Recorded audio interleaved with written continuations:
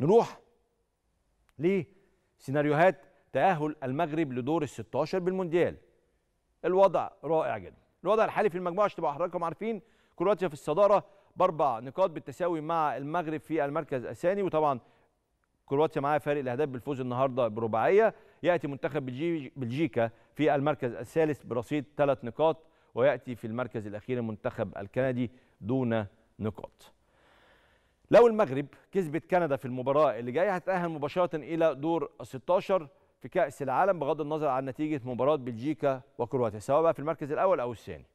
لو تعادلت المغرب مع كندا هتتأهل مباشرة أيضا إلى دور ال 16 من كأس العالم بغض النظر عن نتيجة مباراة بلجيكا وكرواتيا. يعني كده ببساطة إيه المغرب تكسب أو تتعادل هتصعد.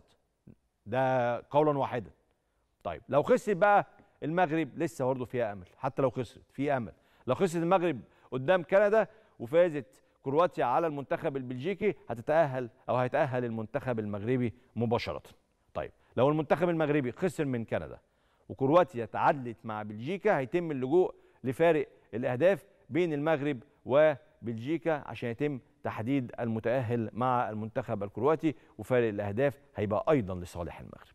طيب في حال خسارة منتخب المغرب من كندا وفوز بلجيكا على المنتخب الكرواتي يتم اللجوء لفارق الأهداف بين المغرب وكرواتيا لتحديد المتأهل مع بلجيكا. وهنا فرصة المغرب هتضعف عشان غالبا فارق الأهداف هيبقى لصالح كرواتيا.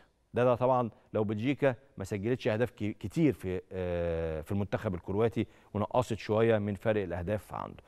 فأنت المغرب دلوقتي بقى عندها العديد من الفرص الميسرة للصعود للدور الجاي. وأنا أقدر أقول لك من دلوقتي المغرب في دور ال 16 بكأس العالم.